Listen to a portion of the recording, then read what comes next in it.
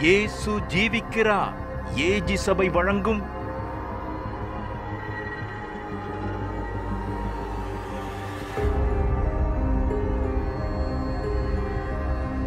சத்திய வசனங்கள்.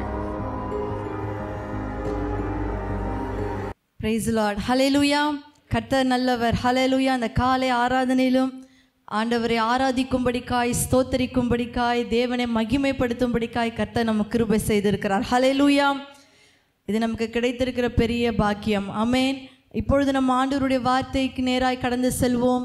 கர்த்தர் நம்மளோடு பேசுகிற தேவனாய் இருக்கிறார். ஹalleluya எத்தனை பேர் வாஞ்சோடு வந்திருக்கிறீங்க? இந்த காலை நேரத்தில் ஆண்டவர் என்னோடு பேசணும் என்று விரும்புகிற யாவரோடும் கர்த்தர் இடைப்படுகிற தேவனாக இருக்கிறார். ஹalleluya அவர் பேசுகிற தேவனாய் இருக்கிறார். நாம் எடுத்து வாசிப்போம்.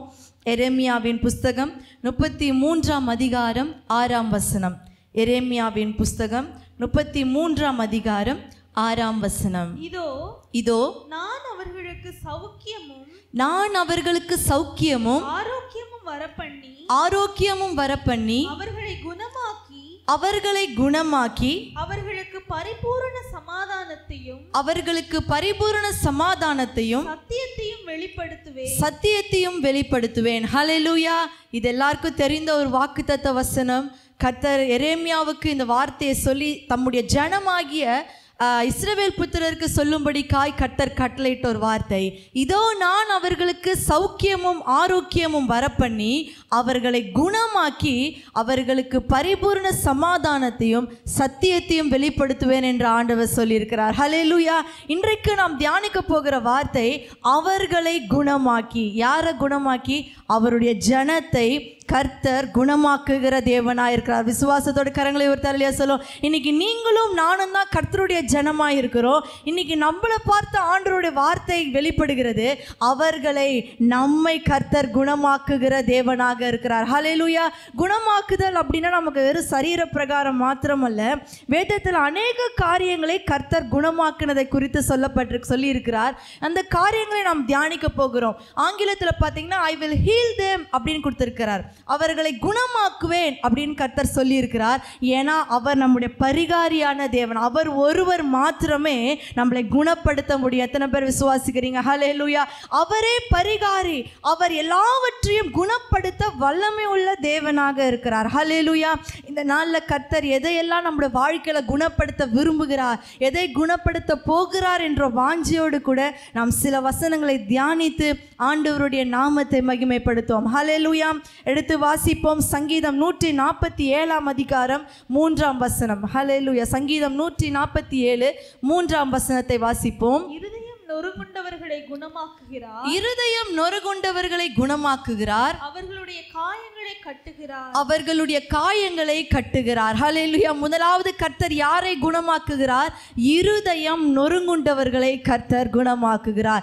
இருதயம் நொறுங்குண்டு இருக்கிறதுனா யாரு? ரொம்ப வேதனையிலையும் கஷ்டத்துலையும் துக்கத்துலையும் கண்ணீர்லையும் இருக்கிறவங்களோட இருதயம் எப்படி இருக்கும்? ரொம்ப நொறுங்கி போயிருக்கும். நம்மளே அந்த வார்த்தையை சொல்லுவோம். ரொம்ப என்ன ஆயிடுச்சு? இருதயம் ரொம்ப உடஞ்சி போயிடுச்சு. இருதயம் ரொம்ப கஷ்டப்படுது. இருதயம் ரொம்ப நம்ம க ரொம்ப வேதனையில் இருக்குது அப்படின்ற ஒரு நிலைமையில் வாழுகிறவர்கள் தான் இருதயம் நொறுங்கி இருக்கும். ஹalleluya இந்த நேரத்தில் ஆண்டவர் சொல்கிறாரு அப்படிப்பட்ட வேதனையில் இருதயம் நொறுங்குண்டவர்களை கர்த்தர் குணமாக்குகிற தேவனாக இருக்கிறார். கரங்களை ஒருத்தி ஆண்டவருக்கு மகிமை செலுத்துவோம். யோபு சொல்லும்போது சொல்கிறார் அவரோட வாழ்க்கையில் ஏற்பட்ட அந்த நெருக்கத்தினால் அவர் சொல்கிறாரு எனக்கு நொறுக்குதலின் மேல் நொறுக்குதல் ரொம்ப கஷ்டத்தின் மேலே கஷ்டம் என் இருதயம் ரொம்ப நொறுங்கி போயிடுச்சுன்றாரு. தாவீது சொல்லும்போது கூட சொல்லுகிறார் சங்கீதம் முப்பத்தி எட்டாம் அதிகாரம் எட்டாம் வசனம் வாசிப்போம். சங்கீதம் முப்பத்தி எட்டாம் அதிகாரம் எட்டாம் வசனத்தில் நான் பலனற்று போ நான் பலனற்று போய் மிகவும் நொறுக்கப்பட்டு மிகவும் நொறுக்கப்பட்டேன். என் இருதயத்தின் கொந்தளிப்பினால் என் இருதயத்தின் கொந்தளிப்பினால் கதறுகிறேன். இவரோட இருதயம் எப்படி ஆயிடுச்சு? நொறுக்கப்பட்டு. இப்போ இருதயம் ரொம்ப கொந்தளிச்சிருக்கு. வேதனை அடங்கவே இல்லை. எனக்கு மட்டும் இப்படி ஒரு பாரம் வந்துருச்சு. என் வாழ்க்கையில மட்டும் இப்படி ஒரு கஷ்டம். எனக்கு தான் இப்படிப்பட்ட வேதனை. என் கண்ணீர் யாருக்கும் புரியல.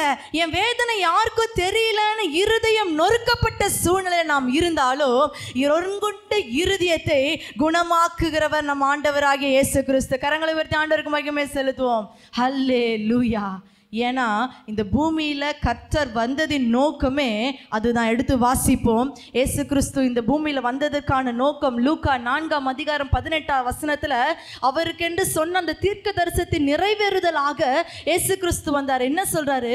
கர்த்தருடைய ஆவியானவர் என்மேல் இருக்கிறார். கர்த்தருடைய ஆவியானவர் என்மேல் இருக்கிறார். தரித்திரருக்கு சுவிசேஷத்தை பிரசங்கிக்கும்படி தரித்திரருக்கு சுவிசேஷத்தை பிரசங்கிக்கும்படி என்னை அபிஷேகம் பண்ணினார். என்னை அபிஷேகம் பண்ணினார். இருதயம் நறுங்குண்டவர்களை குணமாக்கவும் இருதயம் நறுங்குண்டவர்களை குணமாக்கவும் சிறைப்பட்டவர்களுக்கு விடுதலையும் சிறைப்பட்டவர்களுக்கு விடுதலையும் குருடருக்கு பார்வையையும் பிரசித்தப்படுத்தவும் குருடருக்கு பார்வையும் பிரசித்தப்படுத்தவும் நொறுங்குண்டவர்களை விடுதலையாகவும் நொறுங்குண்டவர்களை விடுதலையாக்குங்க. வசனத்தை சொல்லப்பட்டிருக்கு இருதயம் நறுங்குண்டவர்களை குணமாக்கவே இயேசு கிறிஸ்து இந்த பூமியில வந்தார். ஹalleluya அவர் நம்முடைய இருதயங்களை ஆராய்ந்து அறிகிற தேவன். மனுஷன் முகத்தை பார்க்க நல்லா தானே இருக்கிறாங்க? நிறைய நேரத்துல நினைக்கலாம். ஆனா கர்த்தர் நம்முடைய இருதயங்களை பார்க்க இருதயம் சந்தோஷமா இருக்கா? நம்முடைய இருதயம் வேதனையோடு இருக்கா? நம் இருதயம் நறுங்குண்டு நொறுங்கி போன ஒரு நிலைமை வேதனையில் இருக்கா? வேதனையோடு கூட இந்த ஆலயத்தில் நீங்கள் வந்திருக்கிறீங்களா? இது எங்களுக்கு வேணால் வெளியில் பார்க்குற மனிதருக்கு வேணால் தெரியாமல் இருக்கலாம். ஆனால் உங்களையும் என்னையும் உண்டாக்கின தேவன். நொறுங்குண்ட இருதயத்தை குணப்படுத்தவே இந்த பூமிக்கு இறங்கி வந்த ஆண்டவராக இயேசு கிறிஸ்து இந்த நாளிலும் உங்களை குணப்படுத்த அவர் வல்லமை உள்ள தேவனாக இருக்கார். கரங்களை உயர்த்தி அலலியா சொல்லுவோம். ஹல்லே லூயா எப்படி குணமாக்குகிறார்? அவர் சமீபமாய் வருகிறார். நம்ம ரொம்ப வேதனையில் இருக்கிறோம்னு வச்சுக்கோங்களேன். ரொம்ப நம்ம இருதயம் நொறுக்கப்பட்ட ஒரு சூழ்நிலை மனிதர்கள் நம்மளை விட்டு தூரமா போயிடுவாங்க. நெருங்கி இருந்தவங்க கூட விலகி போகிற ஒரு சூழ்நிலை. ஆனா ஆண்டவராகி இயேசு கிறிஸ்து என்ன சொல்றாரு? இருதயம் நொறுங்கி இருக்கா? நான் சமீபமாய் உன்னிடத்தில் வருவேன். ஹalleluya. தூரமாய் விலகி போகிற மனிதர்கள் நடுவில் நம்மை நோக்கி சமீபமாய் வருகிற ஒரு தேவன் நம் ஆண்டவராக இயேசு கிறிஸ்து. ஹல்லேலூயா அவர் நம்மிடத்தில் சமீபமாய் வந்து நம்மை விடுதலையாக்குறார் நம்மை குணப்படுத்துகிறார் நம்முடைய வேதனைகளை மாற்றுகிறார் நம் துக்கங்களை நீக்குகிறார். நம்முடைய கஷ்டங்களை நீக்கி நம்மை ஆறுதல் படுத்துகிற தேவனாக இருக்கிறார். ஹalleluya அண்ட் வேதத்தில் பார்த்தீங்கன்னா அண்ணால் அன்னைக்கு ரொம்ப கவலையோடு கூட இருதயம் ரொம்ப நொறுக்கப்பட்டவர்களை ஆலயத்தில் ஜெபித்தாங்க. அநேக நேரத்தில் தாவீதனுடைய வாழ்க்கையில அப்படிதான். அநேக நேரம் அவரை வந்து ஆண்டருடைய சமூக சிக்லாக்கில் பார்த்தீங்கன்னா பலனற்று போன ஒரு சூழ்நிலை நொறுக்கப்பட்ட ஒரு சூழ்நிலை. அப்பெல்லாம் கர்த்தர் அவர்களுக்கு சமீபமாய் வந்து அவர்களை குண குணப்படுத்தினார். ஹலே லூயா இன்றைக்கு இந்த ஆராதனையில் ஒருவேளை இந்த வார்த்தையை கேட்டுக்கொண்டிருக்கிற உங்க இருதயம் எப்படி இருக்கு? கலக்கத்தோடு வந்திருக்கிறீங்களா? வேதனையோடு வந்திருக்கிறீங்களா? இல்லை சந்தோஷத்தோடு வந்திருக்கிறீங்களா? எப்படிப்பட்ட இருதயமானாலும் அதை குணப்படுத்த நம் தேவனால் கூடும். கரங்களை உயர்த்தி ஆண்டவருக்கு மகிமை செலுத்தும் ஹalleluya. அவர் நொறுங்குண்ட இருதயத்துக்கு சமீபமாய் வருகிறார். உங்கள் அருகில் கர்த்தர் வந்து உங்களை தைரியப்படுத்தி தேற்றி ஆறுதல் படுத்தி சமாதானப்படுத்தி உங்களை குணப்படுத்துகிற தேவனாக இருக்கிறார். ஹalleluya அடுத்து இரண்டாவது காரியம் கர்த்தர் எதை குணப்படுத்துகிறார்? எடுத்து வாசிப்போம். எரேமியாவின் புஸ்தகம் மூன்றாம் அதிகாரம் இருபத்தி இரண்டாம் வசனம். எரேமியா புஸ்தகம் மூன்றாம் அதிகாரம் இருபத்தி இரண்டாம் வசனத்தை எடுத்து வாசிப்போம். பிள்ளைகளே சீர்கெட்ட பிள்ளைகளே திரும்புங்கள். உங்கள் சீர்கேடுகளை குணமாக்குவேன் என்றார். உங்கள் சீர்கேடுகளை குணமாக்குவேன் என்றார். அதே காரியத்தை ஓசியாவின் புஸ்தகம் பதினான்காம் அதிகாரம் நாலாவது வசனத்துல சொல்லு எடுத்து வாசிப்போம். ஓசியா பதினான்காம் அதிகாரம் நான்காம் வசனம். நான் அவர்கள் சீர்கேட்டை குணமாக்குவேன். நான் அவர்கள் சீர்கேட்டை குணமாக்குவேன். அவர்களை மனப்பூர்வமாய் அவர்களை மனப்பூர்வமாய் சிநேகிப்பேன். என் கோபம் அவர்களை விட்டு நீங்கிற்று. என் கோபம் அவர்களை விட்டு நீங்கிற்று. ரெண்டாவது கர்த்தர் எதை குணப்படுத்துவாரா? நம்முடைய சீர்கேடுகளை கர்த்தர் குணமாக்குவார். ஆங்கிலத்தில் பேக் ஸ்லைடிங் தேவனை விட்டு பின்வாங்க செய்த எல்லா காரியத்தையும் கர்த்தர் இந்த நாளில் குணமாக்க வல்லமை உள்ள தேவனாக இருக்கிறார். ஹalleluya ஆரம்பத்தில் இன்னும் உற்சாகமா நமக்கு நல்லா இருந்த சூழ்நிலை கர்த்தரை நம்ம ரொம்ப உறுதியாய் பற்றி கொண்டு இருந்திருப்போம் கர்த்தர் இடத்துல நல்லா ஜெபிச்சிருப்போம்.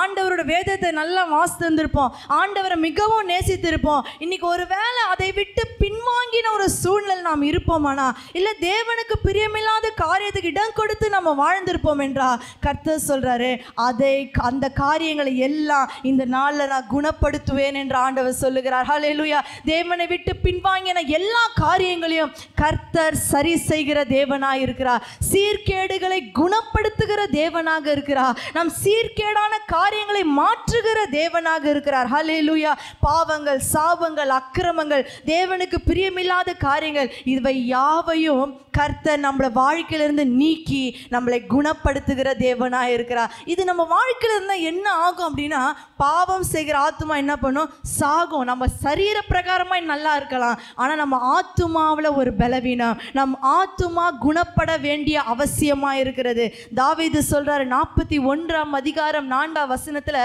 நான் பாவம் செய்தேன் என் பாவத்தினை என் ஆத்துமாவை குணமாக்கும் என்று ஜெபிக்கிறார். உமக்கு விரோதமாய் பாவம் செய்தேன் என் ஆத்துமாவை குணமாக்கும் என்று சொன்னேன். இந்த சீர்கேடான காரியங்கள் நம்ம வாழ்க்கையில் பெருகும் பொழுது நம்முடைய ஆத்துமா பலவீனப்பட்டு போகும். நம்மளோட ஆத்துமால ஒரு வியாகுலம் என்னன்னே தெரியல ஒரு கஷ்டம். வெளியில் நல்லா இருப்போம் எல்லாமே நமக்கு இருக்கும். ஆனாலும் நம்ம இருதயத்துக்குள்ளாக நம்மளுடைய ஆத்துமாவில் ஒரு கலக்கம் அந்த கலக்கத்தை கர்த்தர் குணப்படுத்துகிற தேவனாக இருக்கிறார். ஹalleluya. தம்முடைய ஜனங்கள் அவர்கள் பாவத்திலே அக்கிரமத்திலே இப்படிப்பட்ட அடிமைத்தனத்திலே மடிந்து போவது தேவனுடைய சித்தம் அல்ல அந்த சீர்கேடுகளை குணமாக்கவே கர்த்தர் விரும்புகிறார். கரங்களை உயர்த்தி ஆண்டவருக்கு மகிமைப்படுத்துவால்லே லூயா அவர் நம்முடைய சீர்கேடுகள் யாவையும் கர்த்தர் குணமாக்குகிறார். நமக்கு ஒரு வேளை தேவனுக்கு விரோ விரோதமான காரியங்கள் இல்லை அக்கிரமமான ஒரு வாழ்க்கையை நம்ம வாழ்ந்து கொண்டு இருப்போம்னா மக்கள் நம்மளை என்ன பண்ணுவாங்க? குற்றப்படுத்துவாங்க. ஆனால் நம்ம சீர்கேடுகளை பார்த்து கர்த்தர் நம்மளை குற்றப்படுத்தலை நம்மளை குணப்படுத்தவே கர்த்தர் விரும்புகிறார். கரங்களை உயர்த்தி ஆண்டவருக்கு மகிமை செலுத்துவோம். நம்மளை குணப்படுத்துகிற தேவன் அவர். ஹalleluya எல்லா சூழ்நிலையிலும் நம்முடைய வாழ்க்கையில் எல்லா பகுதியிலும் நாம் குணப்பட வேண்டும் என்பதே தேவனுடைய சித்தமா இருக்கிறது ஹalleluya அப்ப இந்த நாளிலும் கர்த்தர் நம் சீர்கேடுகள் தேவனுக்கு பிரியமில்லாத காரியங்கள் தேவனை விட்டு பின்வாங்கின காரியங்கள் தேவனுக்கு விரோதமாய் செய்த காரியங்கள் எல்லாவற்றையும் நம்மளோட வாழ்க்கையிலிருந்து குணப்படுத்த மாற்ற பரிசுத்தம் படுத்த புதிதாக்க கர்த்தர் விரும்புகிறார். கரங்களை வருது அலலியா சொல்லுவோம். தேவனால கூடாத காரியம் ஒன்றுமே இல்லை. ஹalleluya அடுத்து மூன்றாவது காரியம் கர்த்தர் எதை குணப்படுத்துகிறார்? சங்கீதம் சங்கீதம் நூற்றி மூன்றாம் அதிகாரம் மூன்றாம் வசனம். எடுத்து வாசிப்போம். சங்கீதம் நூற்றி மூன்றாம் அதிகாரம் மூன்றாவது வசனம். அவர் உன் அக்கிரமங்களை எல்லாம் மன்னித்து அவர் உன் அக்கிரமங்களை எல்லாம் மன்னித்து நோய்களை உன் நோய்களை எல்லாம் குணமாக்கி ஹலெலுயா மூன்றாவது கர்த்தர் எதை குணமாக்குறார்? நம்முடைய சரீர பிரகாரமான நோய்களை கர்த்தர் குணமாக்குகிறார். ஹலெலுயா நம்முடைய நொறுக்கப்பட்ட இருதயத்தை கர்த்தர் குணமாக்குகிறார். நம்ம ஆத்துமாவை பலவீனப்படுத்துகிற நம்ம சீர்கேடுகளை கர்த்தர் குணமாக்குகிறார். மூன்றாவது நம்முடைய சரீரத்தை பலப்படுத்துகிற எல்லா வியாதிகளையும் கர்த்தர் குணமாக்குகிறார். ஹலெலுயா அங்கே சரீரத்தை உன்னுடைய எல்லா நோயை உன் நோயை குணமாக்கி நோய்களை எல்லாம் குணமாக்கி நோயை குணமாக்கி இல்ல எப்படிப்பட்ட நோய் எந்த நோய் எவ்வளவு தீவிரமான நோய் எத்தனை நாள்ல பாதிக்கப்பட்டிருந்தாலும் அந்த நோய்களை எல்லாம் கர்த்தர் குணமாக்குகிற தேவனாக இருக்கிறார். ஹalleluya இயேசு கிறிஸ்து இந்த பூமியில் இருந்த பொழுது லூக்கா ஆறாம் அதிகாரம் பத்தொன்பதாவது வசனத்தை நம்ம வாசிப்போம் என்றால் லூக்கா ஆறாம் அதிகாரம் பத்தொன்பதாவது வசனம் அவரிடத்திலிருந்து வல்லமை புறப்பட்டு அவரிடத்திலிருந்து வல்லமை புறப்பட்டு எல்லாரையும் குணமாக்கினபடியினாலே எல்லாரையும் குணமாக்கினபடியினாலே ஜனங்கள் யாவரும் அவரை தொடும்படிக்கு வகை தேடினார் ஜனங்கள் யாவரும் அவரை தொடும்படிக்கு வகை தேடினார்கள். இயேசு கிறிஸ்து இந்த பூமியில இருந்தபோது வல்லமை புறப்பட்டு யாரை குணமாக்குச்சு? இந்த வியாதிக்காரங்களை இல்லை இந்த இப்படிப்பட்ட மக்களை அப்படி கிடையாது. எல்லாரையும் குணமாக்குகிறார். வியாதியிலேருந்து சுகம் எப்படி கிடைக்குதுன்னா இயேசு அப்பா வியாதியிலேருந்து எப்படி சுகம் தருகிறார்? எல்லா நோய்களையும் நீக்கி சுகம் தருகிறார். எல்லா மனிதரையும் கர்த்தர் குணமாக்குகிறார். அவர்கிட்ட பாரபட்சமே கிடையாது. எல்லாரையும் எப்படிப்பட்ட நோய்களையும் குணமாக்க நம் தேவனால் முடியும். விசுவாசிக்கிறோம் கரங்களை ஒருத்தி அரளியா சொல்லுவோம் ஹலே லூயா டாக்டர்ஸ் பார்த்தீங்கன்னா உலக பிரகாரமாக சில காரியங்கள் பார்த்தீங்கன்னா சில நோய்களுக்கு உடனடியாக ட்ரீட் பண்ணி ட்ரீட்மெண்ட் கொடுத்துருவாங்க. சில வியாதிகளை கண்டுபிடிக்க முடியாத ஒரு சூழ்நிலை இருப்பாங்க. சில வியாதிகள் கண்டுபிடித்தாலும் கூட அவங்களால என்ன பண்ண முடியாது? அதை சரி செய்ய முடியாத ஒரு சூழ்நிலை. வேதத்தில் கூட அப்படிப்பட்ட ஒரு காரியம் காணப்பட்டது. மார்க் ஐந்தாம் அதிகாரம் இருபத்தி ஆறாம் வசனத்தில் பெரும்பாடு உள்ள ஸ்திரியை குறித்து கொடுக்கப்பட்டிருக்கிறது. இவங்க என்ன பண்ணாங்களா அநேக மருத்துவரிடத்தில் போனாங்க என்று சொல்லப்பட்டிருக்கு. அநேக வைத்தியர்களால் மிகவும் வருத்தப்பட்டு தனக்கு உண்டானவைகளை எல்லாம் செலவழித்தும் சற்றாகிலும் குணமடையாமல் அதிக வருத்தப்படுகிற போது இவங்க பார்க்காத டாக்டர்ஸே கிடையாது. இவங்க போகாத வைத்தியரே கிடையாது. எல்லார்கிட்டையும் போனாங்க. ஆனால் என்ன மட்டும் கிடைக்கல? குணமாகப்படவில்லை.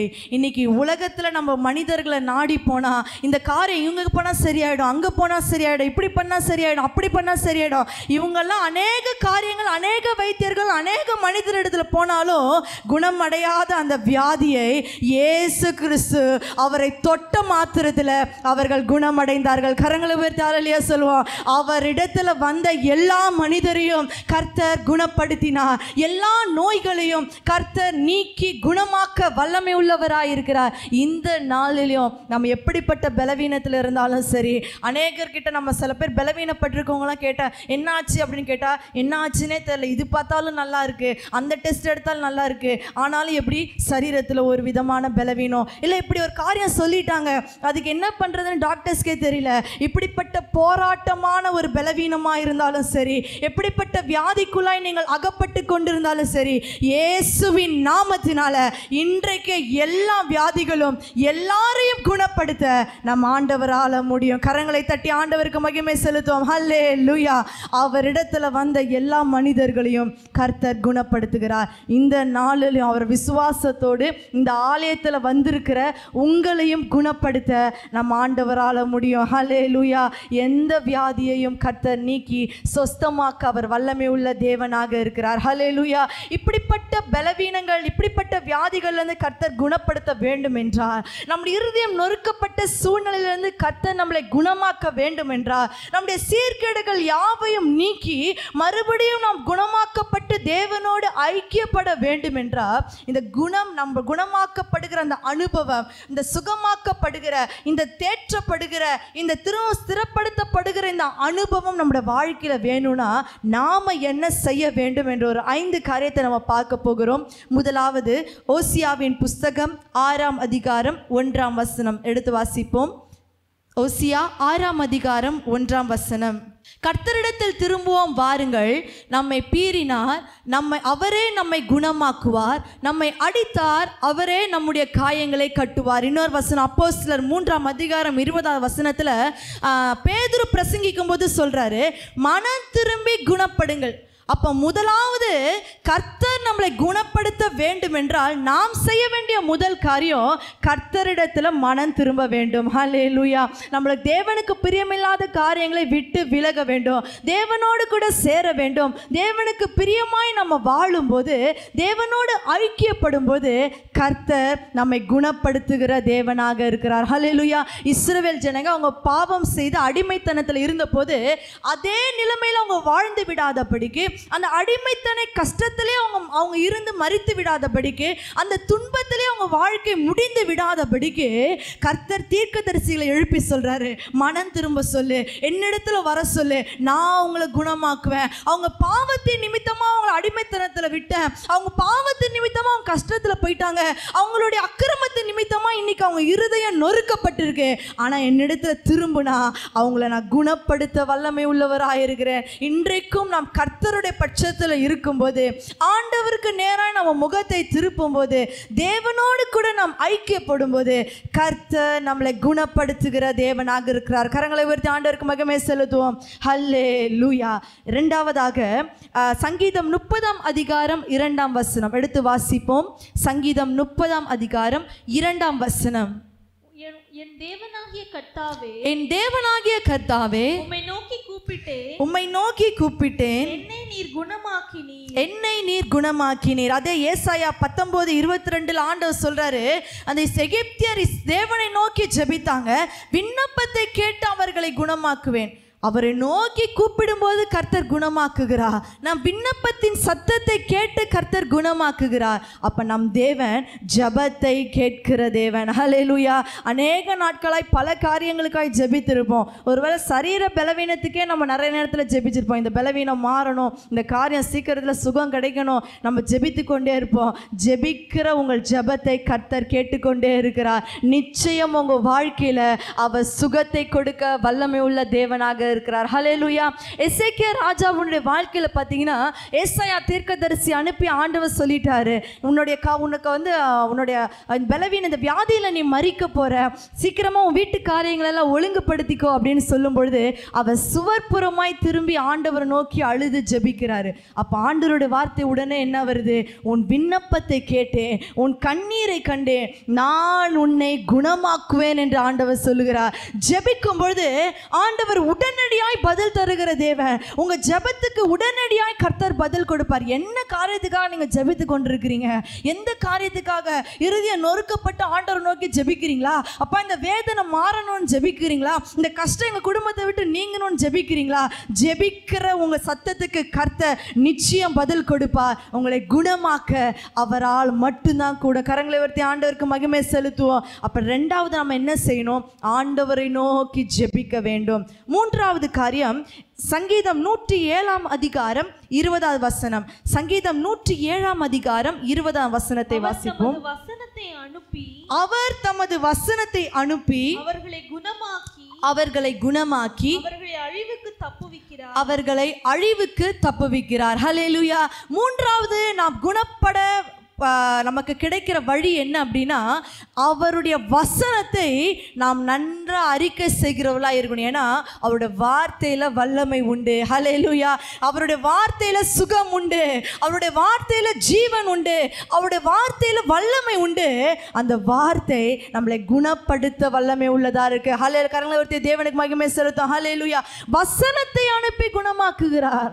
அன்றைக்கு நூற்றுக்கு அதிபதி இயேசுவினிடத்தில் வந்தப்போ சொல்கிறார் ஒரு வார்த்தை சொல்லுங்கப்பா என் வேலைக்காரன் சுகமாவான் சொஸ்தமடைவான்னு சொல்கிறாரு ஆண்டவர் சொன்ன அந்த மாத்திரத்தில் அவரோட வேலைக்காரன் சுகமடைந்ததை நாம் பார்க்குறேன் ஏன்னா அவரோட வார்த்தையில் வல்லமை உண்டு. இன்றைக்கு நீங்கள் அந்த வார்த்தையை படிக்கும் போதும் சரி கர்த்தருடைய வசனத்தை நீங்கள் அறிக்கை பண்ணும்போதும் சரி இல்லை இந்த ஆலயத்தில் வந்து ஆண்டவருடைய வார்த்தையை கேட்டுக்கொண்டிருக்கிற உங்கள் வாழ்க்கையில் உங்கள் இருதயத்தை கர்த்தர் குணப்படுத்துவார். உங்கள் பலவீனங்களை கர்த்தர் மாற்றி குணப்படுத்துவார். உங்கள் சரீரத்தில் ஒரு புது பலனை கர்த்தர் கொடுப்பார். ஏன்னா ஒரு வார்த்தையில் என்ன உண்டு?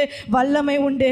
இப்பொழுதே கர்த்தருடைய வல்லமை நம்முடைய வாழ்க்கையில கடந்து வர அது போதுமானதாக இருக்கிறது. ஹalleluya அப்போ ஒரு வார்த்தையை நம்ம அணு தினமும் கர்த்தருடைய வார்த்தையை படிக்கணும் அதை அறிக்கை செய்யணும். நம்முடைய பலவீன நேரங்களில் கஷ்டமான நேரங்களில் அதை அறிக்கை செய்யும்போது கர்த்தர் நம்மளை குணப்படுத்த வல்லமை உள்ளவராக இருக்கார். கரங்களை ஒருத்தி ஆண்டவருக்கு மகிமை செலுத்தும் ஹல்லே லூயா அடுத்து நான்காவது காரியம் ஏசாயா ஐம்பத்தி மூன்றாம் அதிகாரம் ஐந்தாம் வசனம். எடுத்து வாசிப்போம். ஏசாயா ஐம்பத்தி மூன்றாம் அதிகாரம் ஐந்தாவது வசனம். நிமித்தம் அவர் காயப்பட்டு நம்முடைய மீறுதலின் நிமித்தம் அவர் காயப்பட்டு நம்முடைய அக்கிரமங்களின் நிமித்தம் அவர் நொறுக்கப்பட்டார். நமக்கு சமாதானத்தை உண்டு பண்ணும் ஆக்கினை அவர் மேல் வந்தது. அவருடைய தழும்புகளால் குணமாகி ஹalleluya நான்காவது அவருடைய தழும்புகளால் இயேசு கிறிஸ்துவனுடைய தழும்புகளால் நாம் குணமாகிறோம். ஹalleluya நம்முடைய பாடுகள் வேதனைகள் பலவீனங்கள் யாவையும் அன்றைக்கு கல்வாரி சிலுவையில் இயேசு கிறிஸ்து என்ன பண்ணிட்டாரு? சுமந்து தீர்த்திட்டார். இன்னொரு இடத்துல ஒன்று பேதுரு ரெண்டாம் அதிகாரம் இருபத்தி நாலாம் வசனத்துல பேதுரு சொல்லும்போது சொல்லுகிறாரு. எடுத்து வாசிப்போம். ஒன்று பேதுரு ரெண்டாம் அதிகாரம் இருபத்தி நான்காவது வசனம். பாவங்களுக்கு செத்து நம் பாவங்களுக்கு செத்து நீதிக்கு பிழைத்திருக்கும்படிக்கு நீதிக்கு பிழைத்திருக்கும்படிக்கு அவர் தாமே தமது சரீரத்திலே அவர் தாமே தம அவர் தாமே தமது சரீரத்திலே நம்முடைய பாவங்களை தம்முடைய பாவங்களை சிலுவையில் சிலுவையின் மேல் சுமந்தார். அவருடைய தழும்புகளால் குணமானி அவருடைய தழும்புகளால் குணமானீர்கள். ஹalleluya இன்றைக்கு நாம் சுமக்க வேண்டிய அந்த பாடுகளை வேதனைகளை பலவீனங்களை எல்லாவற்றையும் கல்வாரி சிலுவையில் இயேசு கிறிஸ்து சுமந்து முடித்துட்டார். அதனால அவருடைய தழும்புகளால் குணம் மானீர்கள் ஹalleluya நிச்சயமா நீங்க குணமாயிடுவீங்க. நிச்சயமா பலன் அடைவீங்க. நிச்சயமா சுகமாவீங்க.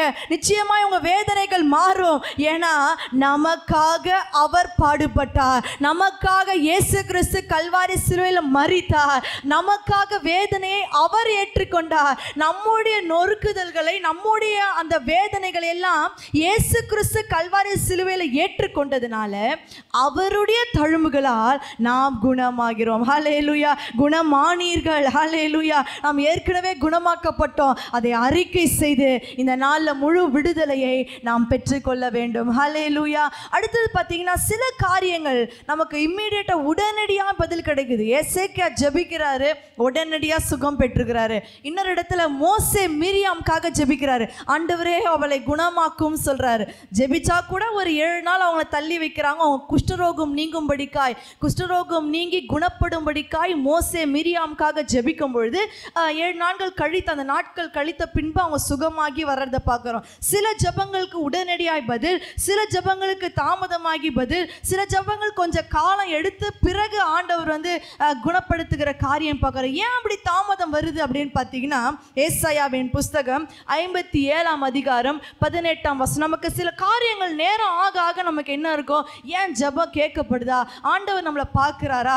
ஆண்டவர் நமக்கு செவி கொடுக்கிறாரா? நம்ம ஜெபிக்கிற ஜெபம்லாம் எங்கே போகுது? இதுக்கு நமக்கு தீர்வே இல்லையா? நிறைய நேரத்தில் நமக்குள்ள பலவிதமான குழப்பங்கள் இருக்கும். ஆனால் நீங்கள் குழம்ப தேவையில்லை. அவர்கள் வழிகளை பார்த்து அவர்களை குணமாக்குவேன். நீங்கள் போய்க்கொண்டிருக்கிற பாதையை ஆண்டவர் பார்த்து கொண்டே தான் இருக்கிறாரு. நீங்கள் எப்படிப்பட்ட பாதையில் போகிறீங்க ஒருவேளை கண்ணீரின் பாதையில் போகலாம் ஆண்டவருக்கு அப்போ கூட ஆண்டவருக்கு பிரியமாய் நீங்கள் நடக்கும் பொழுது ஆண்டவருக்கு பயந்து நீங்கள் நடக்கும்போது தேவனுக்கு சாட்சியாய் நீங்கள் நீங்கள் வாழும்போது அதை பார்த்து கர்த்தர் நிச்சயமாய் உங்களை குணப்படுத்துகிற தேவனாய் இருக்கிறார். ஹalleluya.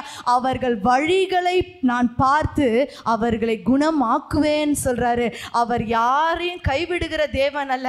யாரையும் மறந்து போகிற தேவன் அல்ல. அவர் நம்மளை காண்கின்ற தேவனாக இருக்கிறார். உன் வழிகளை கர்த்தர் பார்த்து கொண்டே இருக்கிறார். உடனடியாய் பதில் கிடைக்கலாலும் பரவாயில்ல. உன் வழியை பார்க்கிற தேவன் நிச்சயமாய் உன்னை குணப்படுத்த அவர் வல்லமை உள்ள தேவனாக இருக்கிறார். கரங்களை ஒருத்தர் தேவனுக்கு மகிமை செலுத்தும் ஹல்லே லூயா குணப்பட நாம் என்ன செய்யணும்? கர்த்தரிடத்தில் மனம் திரும்பணும். ஆண்டவரை நோக்கி ஜெபிக்கணும். அவருடைய வசனத்தை அறிக்கை செய்து நாம் ஒவ்வொரு நாளும் படிக்கணும். நான்காவது அவருடைய தழும்புகளால் குணமாகினீர்கள் என்ற விசுவாசத்தோடு நாம் இருக்கணும். ஐந்தாவது நல்ல சரியான தேவனுக்கு பிரியமான வழியில் நாம் நடக்கும்போது நம் வழியை பார்த்து கர்த்தர் நம்மளை குணப்படுத்துகிற தேவனாக இருக்கிறார். ஹalleluya இந்த நாளில் அவருடைய பிள்ளைங்க நாம் இருதயம் நொறுக்கப்பட்ட நிலைமையிலே இருப்பது கர்த்தருக்கு விருப்பம் அல்ல நம்மளுடைய சீர்கேடான நிலைமையிலே வாழ்ந்து கொண்டிருப்பது தேவனுக்கு பிரியம் அல்ல. நம்முடைய சரீர பலவீனத்தோடு நாம் கஷ்டப்படுவது தேவனுடைய விருப்பம் அல்ல. அந்த நிலையிலிருந்து குணப்பட வேண்டும் என்பதே கர்த்தருடைய சித்தமா இருக்கிறது. ஹலே லுயா அப்ப நாம என்ன செய்யணுமோ அந்த காரியத்தை நாம் செய்யும் பொழுது அவர் வார்த்தையில் உண்மை உள்ள தேவன். அவர்களை குணமாக்குவேன் என்று சொன்னா குணமாக்குவார். அவர்களை குணமானீர்கள் என்று சொன்னார்னா நிச்சயமாய் நாம் குணமாக்கப்படுவோம் என்ற அந்த விசுவாசத்தோடு நாம் இருக்கும் பொழுது கர்த்தர் நம்முடைய வாழ்க்கையை மாற்ற அவர் வல்லமை உள்ள தேவனாக இருக்கிறார். ஹalleluya எத்தனை பேர் விசுவாசிக்கிறேன்? கர்த்தர் நிச்சயமா என் வாழ்க்கையில ஒரு பெரிய மாறுதலை கட்டளையிடுவார். ஹalleluya ஏன்னா அவரை அன்றி அவராலே அன்றி அவர் நம்மளை குணப்படுத்தலைன்னா வேற யாராலே நம்மளை குணப்படுத்தவே முடியாது. ஹலே லுயா அவரிடத்துல மட்டும்தான் அந்த விடுதலை. நம் ஆண்டவராக இயேசு கிறிஸ்துவனிடத்துல மட்டும்தான் அந்த மீட்பு உண்டு. ஹலே லுயா எடுத்து வாசிப்போம். எரேம் எரேமியாவின் புஸ்தகம் பதினேழாம் அதிகாரம் பதினான்காவது வசனம். எடுத்து வாசிப்போம். கர்த்தாவே என்னை குணமாக்கும். என்னை குணமாக்கும். அப்பொழுது குணமாவே அப்பொழுது குணமாவேன். என்னை ரட்சியும் என்னை ரட்சியும் அப்பொழுது ரட்சிக்கப்படும் அப்பொழுது ரட்சிக்கப்படுவேன் தேவரீரே என் துதி. அப்ப இன்னைக்கு நம்ம என்ன செய்யணும் அப்படின்னா வேற வழி கிடையாது. ரொம்ப வேதனை அதனால் இங்கே போனேன் அங்கே போனேன் நம்ம சொல்ல வேண்டிய அவசியம் இல்லை. இல்லை இந்த மாதிரி பலவீனம் இந்த டாக்டர் இந்த ஆஸ்பத்திரி ஆஸ்பத்திரின்னு அலைஞ்சிட்டு இருந்தேன் நம்ம கஷ்டப்பட வேண்டிய அவசியம் இல்லை. ஆண்டவரே என்னை குணமாக்கும் அப்பொழுது நான் குணமாவேன் என்று ஆண்டவரை நோக்கி நாம் கேட்கும் பொழுது நிச்சயமாய் கர்த்தர் இந்த நாளில் உங்களை குணப்படுத்த அவர் வல்லமை உள்ள தேவனா இருக்கிறார். ஹalleluya எத்தனை பேர் விசுவாசிக்கிறீங்க? அப்படியே நம்ம ஒரு அர்ப்பணிப்போடு கூட சொல்லுவோம். அப்பா நீர் என்னை குணமாக்கும் நீர் என்னை குணமாக்கும் அப்பொழுது நான் குணமாவேன். நீர் என்னை ரட்சியும். நான் ரட்சிக்கப்படுவேன். தேவரீரே நீர்தான்ப்பா எங்கள் எங்க துதி. நீர்தான் எங்களுடைய மேன்மை. நீர்தான் என்னுடைய பங்கு. நீர்தான் என்னுடைய விருப்பம். ஆண்டவரை நோக்கி நாம் மகிழ்ச்சியோடு கூட இதை அறிக்கை செய்யும் பொழுது கர்த்தர் நிச்சயமாய் உங்களை குணப்படுத்த அவர் போதுமானவராக இருக்கிறார். ஹலேலுயா வெறும் சரீர பிரகாரம் மாத்திரம் அல்ல நம்முடைய ஆத்துமாவிலும் நம்முடைய ஆவியையும் கர்த்தர் குணப்படுத்த அவர் வல்லமை உள்ளவராக இருக்கிறார் ஹalleluya. நம்ம அப்படியே எழுமி நின்று அறிக்கை செய்வோமா? ஆண்டவரே என்னை குணமாக்கும். எல்லா வாய்களை திறந்து சொல்லுவோம். அப்பா நீர் என்னை குணமாக்கும். அப்பொழுது நான் குணமாவேன். எங்களுடைய பலத்தினால முடியாதப்பா. நான் நம்புகிற மனிதரால முடியாது. என்னை குணமாக்க வல்லமை உள்ளவர். என் ஆண்டவராகிய இயேசு ஒருவரே. நல்ல வாய்கை திறந்து அறிக்கை செய்வோம். நீர் என்னை குணமாக்கும். அப்பொழுது நான் குணமாவேன். நீர் எங்களை குணமாக்கும். இந்த ஆலயத்தில் நின்று கொண்டிருக்க ஒவ்வொரு பிள்ளைகளையும் இயேசுவின் நாமத்தினால இப்பொழுதே தொட்டு குணமாக்க வேணுமாய் செபிக்கிறோம் கரங்களை தட்டி ஆண்டவருக்கு மகிமை செலுத்துவோம். ஹலே லூயா ஹலே லூயா நல்ல கேட்பேன் குடும்பத்தை குணமாக்குங்க. என் பிள்ளைகளை குணமாக்குங்க. என் இருதயத்தின் வேதனைகளை குணமாக்குங்க. ஆண்டவரே சீர்கேடான வாழ்க்கையை குணமாக்குங்க. சரீரத்தில் காணப்படுகிற பலவீனங்கள் இயேசுவின் நாமத்தினால இப்பொழுதே குணமாக்கப்படட்டும் அப்பா. முழு விடுதலையை அப்பா எங்கள் வாழ்க்கையில் நாங்கள் பெற்றுக்கொண்டவர்களாய் காணப்பட உதவி செய்யுங்க. நான் அவர்களுக்கு ஆரோக்கியமும் சௌக்கியமும் வர பண்ணி அவர்களை குணமாக்கி ஆண்டவரே அவர் காயங்களை ஆற்றுவேன்னு சொல்லியிருக்கிறீங்களப்பா எங்களை குணமாக்க வல்லமை உள்ள தேவன் நீங்கள் மட்டும்தான் என்பதை நாங்கள் விசுவாசிக்கிறோம். அனுதினமும் உம்மை நோக்கி ஜெபிக்கணும். எங்களை குணமாக்கும். அப்பொழுது நாங்கள் குணமாவோம் என்று அன்றுவரே தேவனை நோக்கி ஜெபித்து ஒரு பரிபூரண பலத்தோடு சுகத்தோடு ஆரோக்கியத்தோடு சமாதானத்தோடு காணப்படும்படிக்காய் ஒவ்வொருவரையும் கத்தர் அப்படியே மாற்ற வேணுமாய் ஜெபிக்கிறோம் அப்பா. எல்லா துதி கணம் மகிமை ஆண்டவராகிய இயேசுவுக்கே நாங்கள் செலுத்துகிறோம். எங்கள் துதி உமக்கே அப்பா. உடைய கரத்தில் எங்களை முற்றிலுமாய் அர்ப்பணிக்கிறோம். எல்லா துதிகன மகிமை உமக்கே செலுத்துகிறோம். இயேசுவின் நாமத்தில் ஜெபிக்கிறோம். எங்கள் ஜீவனுள்ள நல்ல பிதாவே ஆமேன் ஆமேன். சொல்லுவோம் ஆமேன். நம்முடைய கர்த்தனாகிய இயேசு கிறிஸ்துவின் கிருபையும் பிதாவாகிய தேவனுடைய அன்பும் பரிசுத்தாவியானுடைய அந்யோன்ய ஐக்கியமும் சிநேகமும் பாதுகாப்பும் வழி நடத்துதலும் நம் அனைவரோடும் உலகத்துள்ளதான எல்லா பரிசுத்தவான்களோடும் இன்றும் என்றும் சதா காலங்களிலும் இருப்பதாக. ஆமென் ஆமென் ஆமேன் ஆமேன் ஆமேன். ஹலிலூயா ஹலிலூயா ஹலிலூயா ஆமென் பிரைஸ் சொல்வார் கருத்துக்கு ஸ்தோத்திரம். கர்த்தர் உங்களை ஆசிர்வதிப்பார். சமாதானத்தோடு போவார். எங்கள் ஊழியத்தின் நிகழ்ச்சிகளை தொடர்ந்து காண ஜீசஸ் லிவ்ஸ் ஏஜி அனகாபுத்தூர் என்ற யூடியூப் சேனலை பார்த்து தேவ ஆசிர்வாதத்தை பெற்றுக்கொள்ளுங்கள். எங்கள் சபையின் ஞாயிறு ஆராதனை நேரம். முதல் ஆராதனை காலை எட்டு மணிக்கு. இரண்டாம் ஆராதனை காலை பத்து மணிக்கு. மூன்றாம் ஆராதனை மாலை ஆறு மணிக்கு. எங்கள் சபையின் முகவரி இயேசு ஜீவிக்கிறார் ஏஜி சபை எண் ஒன்று டோபிகானா தெரு அனகாபுத்தூர் பேருந்து நிலையம் அருகில் சென்னை ஆறு லட்சத்தி எழுபது.